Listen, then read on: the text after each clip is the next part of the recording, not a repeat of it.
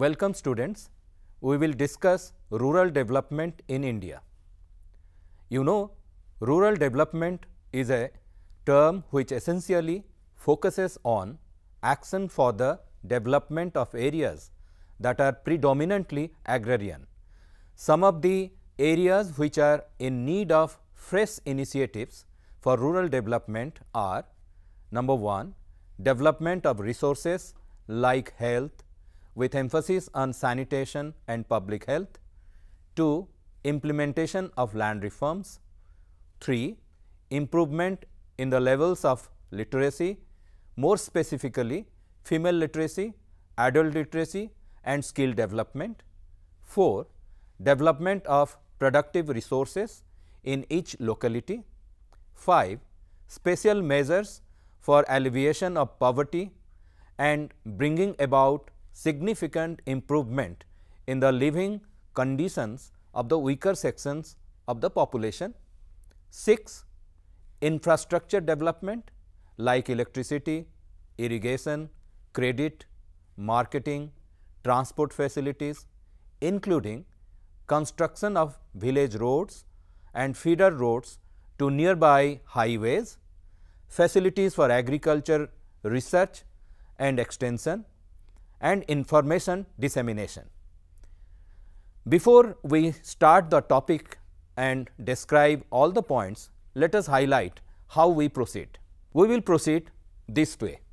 First, we will take up importance of rural development that will be followed by the problem of rural indebtedness.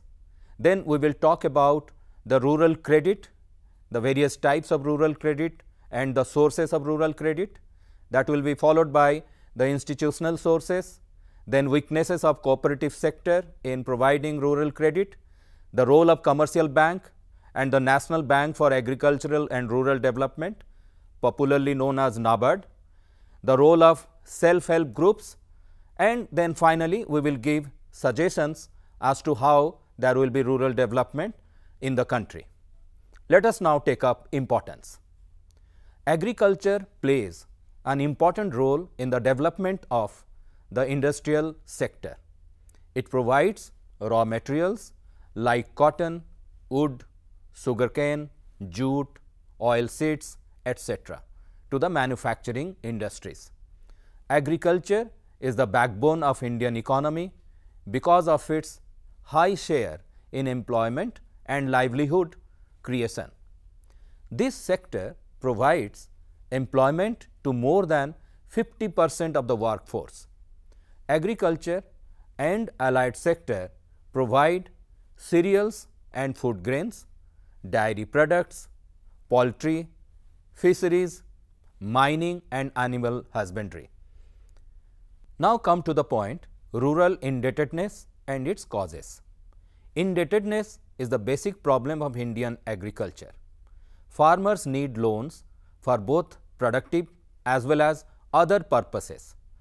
Unproductive loans form more than half of the total loans of the rural sector.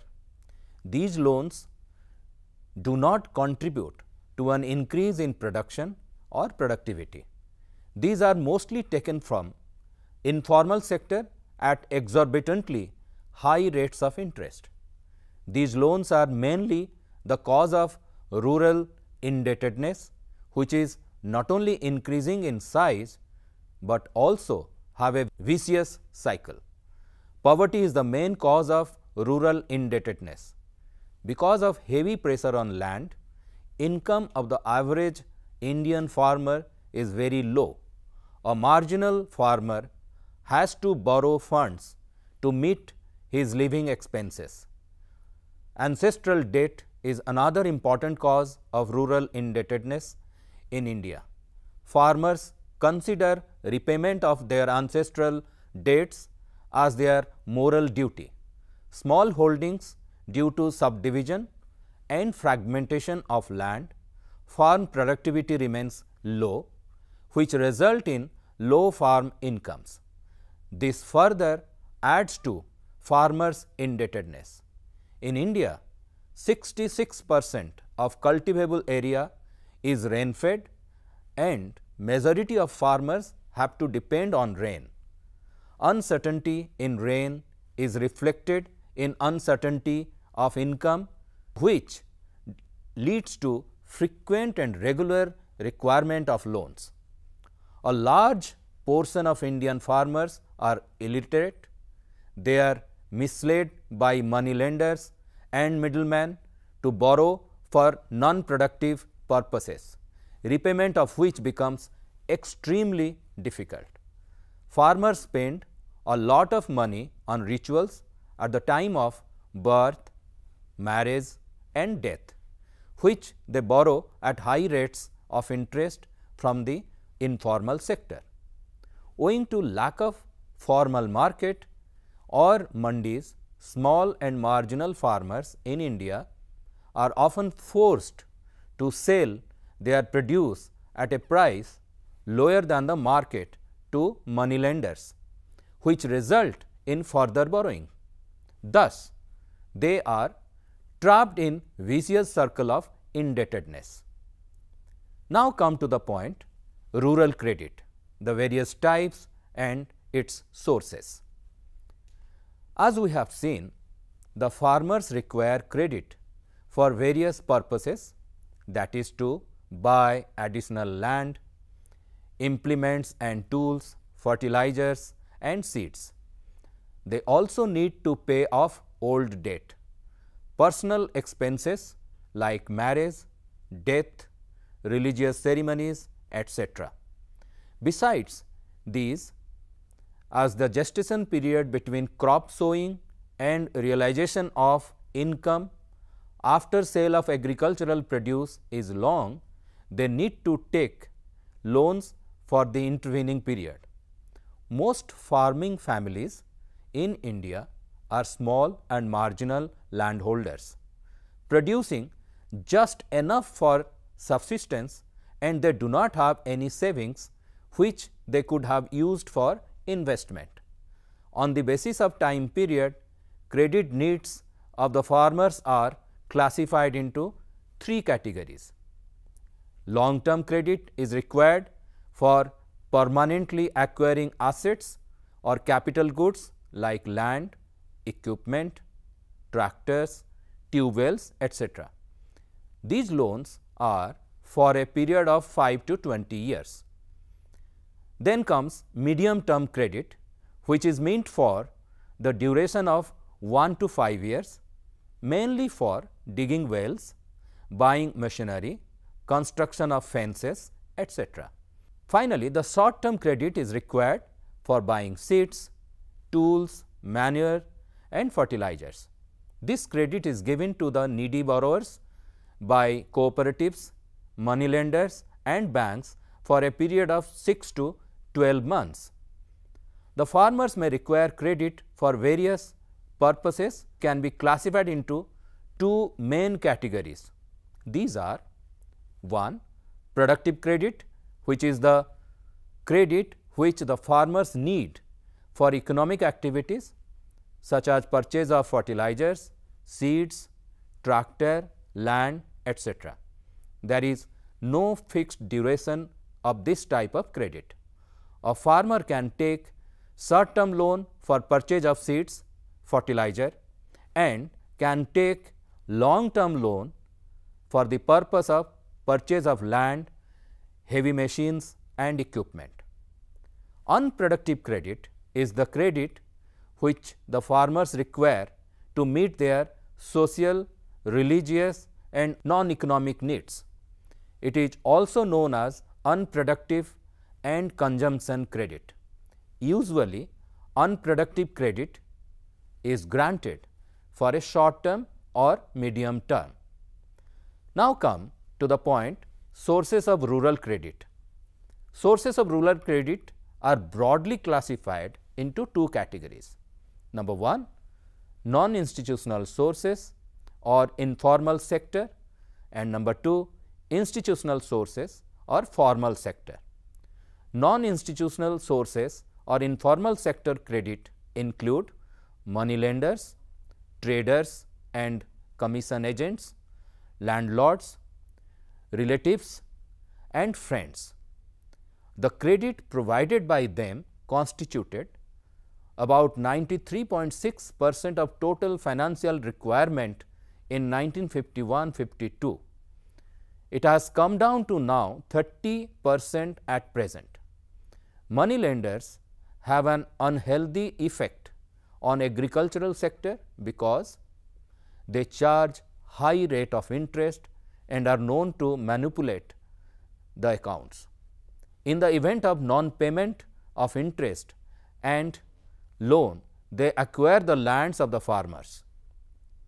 Besides, they tend to exploit labor by making them work without paying wages. Moneylenders were the principal source of rural credit at time of independence.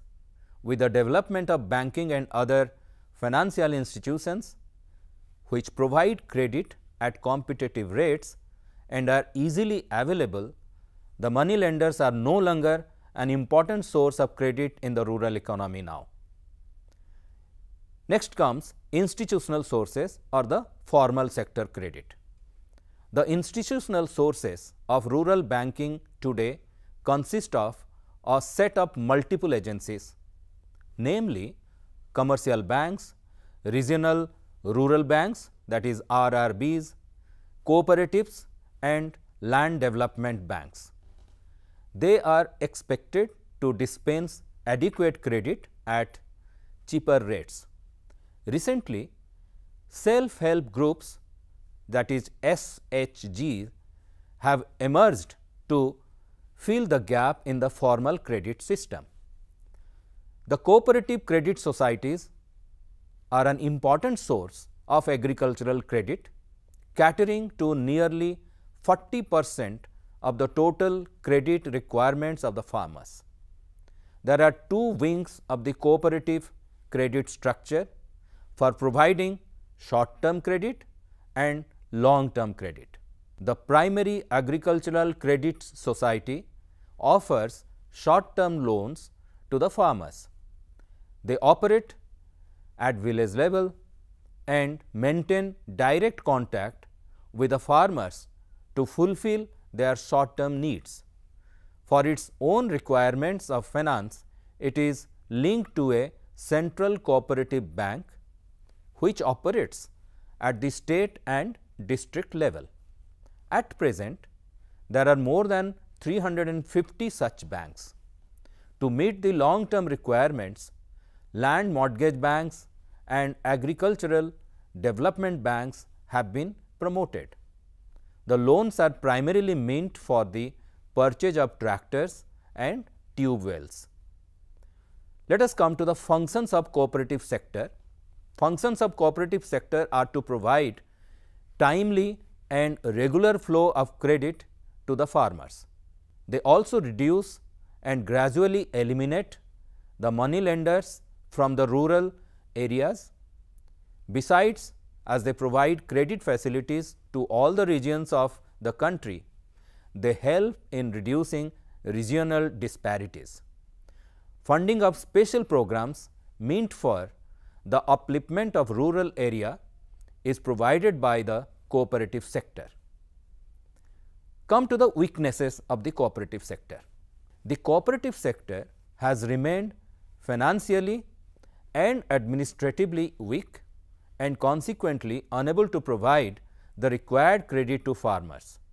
In case of primary agricultural credit societies that is PACS, they have small area of operation and thus less membership.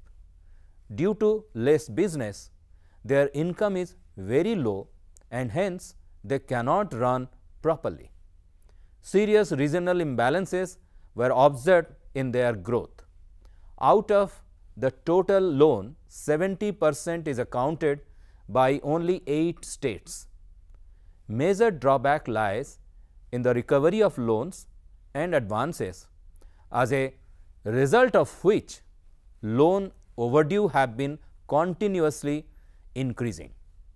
Besides, they suffer from organizational and managerial inefficiency. Come to the role of commercial banks in providing rural credit. Commercial banks provide loans for all agricultural and allied operations.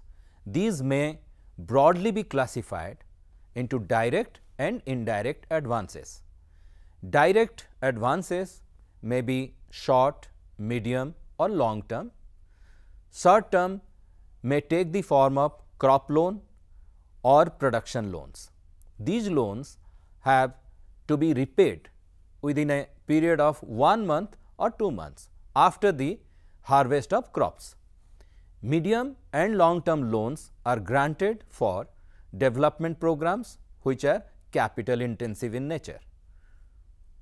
Maximum repayment period is 15 years in such cases. Indirect advances include credit granted to dealers of fertilizers to meet their working capital requirements. They also include advances made to cooperative societies, ship breeders, etc., which in turn extend credit assistance to their members for purchase of milk, cattle, sheep, etc. Cost of operating agricultural advances by is very high and huge losses are incurred in opening and operating rural branches. The regional managers are reluctant to provide agricultural advances and lack initiatives and interest in agricultural sector. Central offices of banks are cut off from the remote rural branches because of lack of communication and transport system. As a result, inter-branch bank adjustments are not possible due to lack of reliable data. Now, come to the point regional rural banks that is RRBs which have been set up under the Regional Rural Banks Act of 1976. The central government through NABARD that is National Bank for Agricultural and Rural Development have been able to achieve the main objective to provide credit and related facilities to the small and marginal farmers, agricultural laborers and artisans in the rural areas. Nearly 90 percent of the loans of RRBs are provided to the weaker section. They provide loans at lower rate of interest and give higher rate of interest on deposits. Come to the functions of RRBs. RRBs provide loans and advances to small and marginal farmers and agricultural laborers at a very cheap rate. This enables small and marginal farmers to purchase land and necessary input for farms. These objectives are to bail out the farmers out of the clutch of moneylenders and landlords. This empowers them to take farming with an objective to enhance their earning capacity. RRBs also ensure that loans must be used for productive purposes only. RRBs provide banking services at the doorstep of rural people where commercial banks and other institutions do not serve. The RRBs encourage savings among farmers and channelize them in more productive activities. They also discourage rural people to take unproductive loans. RRBs also perform functions related to non-farming activities. Rural India has many artisans who have skill of making handicrafts in a distinguished way. They have entrepreneurial talent, but are unable to take initiative due to lack of resources. As they live in abject poverty, they are often forced to sell their products at very low price. The RRBs provide them cheap and easy loans so that they can buy raw material and other required material for the production of their goods and hence improve quality of their goods. The sale of better quality goods will provide them income and thereby raising their standard of living. There are a large number of small entrepreneurs in the villages, suburban areas and small towns who are engaged in retail trade, commerce and other productive activities.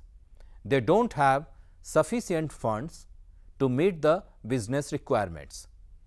The RRBs offer loans to them at a very low rate of interest, so that they can buy raw material and other capital goods required to run their business.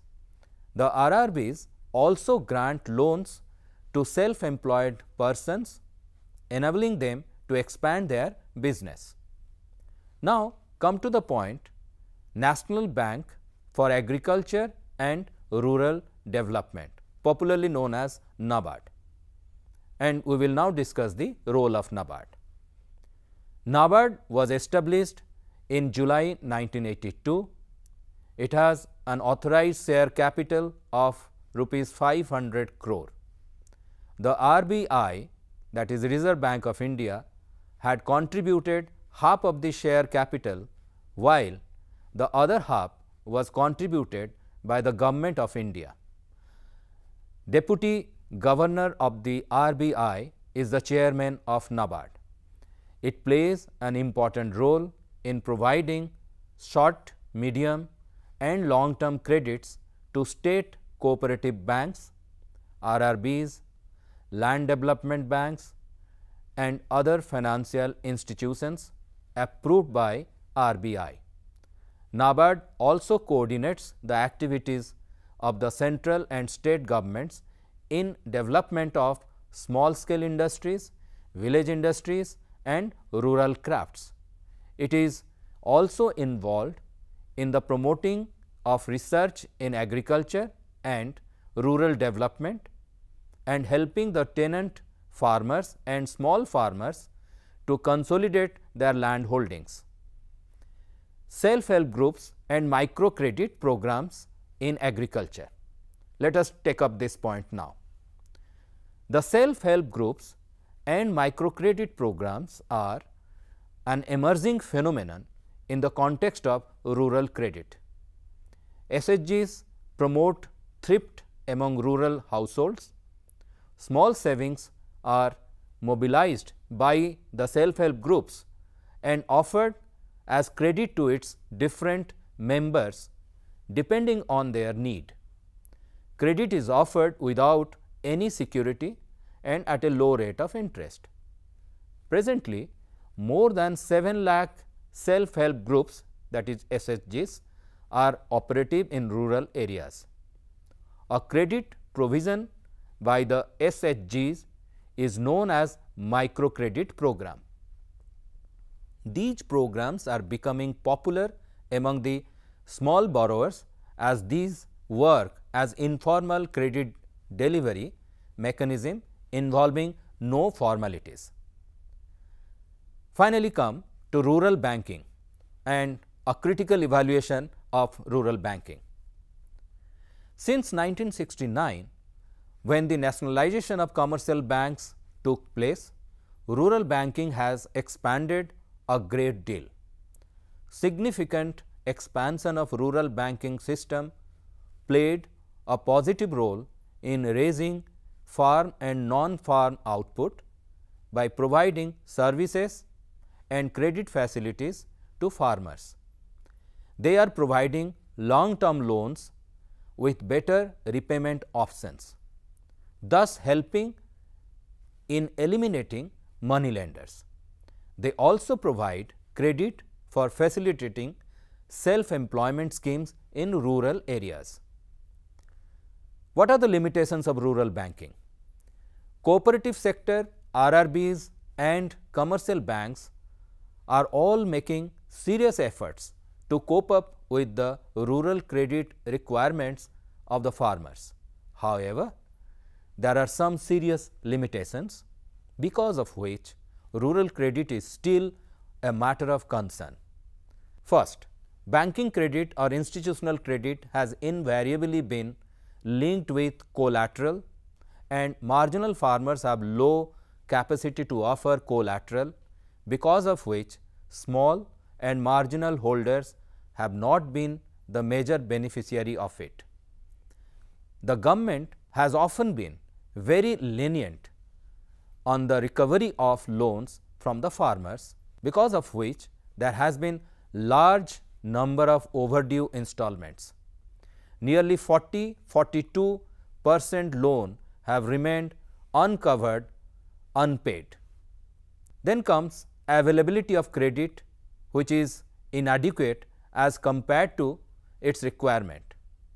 Though the value of flow of credit has substantially increased over time, yet it continues to be less in relation to demand. Moreover, due to advancement of technology, farmers' need for heavy machinery has also increased. Apart from commercial banks, most financial institutions have failed to develop a culture of thrift among the farming families. Marginal farmers have low income levels and spend a large portion of their income on basic necessities. This ultimately lead to low savings. High expenditure on religious customs and family function is a serious issue in a rural area. This significantly defeats the very purpose of various agencies engaged in rural credit. Finally, we will give the suggestions to improve the problem of agricultural credit in India. You know an effective mechanism for the recovery of agricultural loans need to be evolved. Credit facilities should be extended to farmers by commercial banks on easy terms and conditions. More regional rural banks should be set up to meet the credit needs of the rural and backward areas. Cooperative credit societies in rural areas should be strengthened and their working should be transparent and efficient. They should be able to build up relationship with the borrowers. Moreover, they should be converted into multi-purpose societies. RBI should be able to release more funds for long term loans. Commercial banks, cooperative societies and post offices should introduce new schemes in order to promote more savings among farmers. Warehousing facilities should be enhanced so that farmers can store their produce and place it as a collateral for loans. Credit agencies must keep a watch on the usage of loan granted. This requires technically trained personnel. Farmers should be offered Aadhaar linked passbook showing all details of existing loans. This will keep a check on multiplicity of loans taken on the basis of same security. The passbook should also contain details of their land and fixed assets. This will help in speeding up the procedure of granting loans. Let us summarize what we have told so far. Rapid expansion of the banking system has a positive effect on rural farm and non-farm output, income and employment. After the green revolution, it helped farmers to avail services and credit facilities and a variety of loans for meeting their production needs. Famines became events of the past. We have now achieved food security, which is reflected in the abundant buffer stock of grains. However, all is not well with our banking system. With the possible exception of the commercial banks, other formal institutions have failed to develop a culture of deposit, mobilization and lending to worthwhile borrowers and effective loan recovery. Agriculture loan default rates have been chronically very high. Thus, the expansion and promotion of the rural banking sector has taken a backseat after reforms. To improve the situation, it is suggested that banks need to change their approach from just being lenders to building up relationship with the borrowers. Inculcating the habit of thrift and efficient utilization of financial resources needs to be enhanced among farmers too.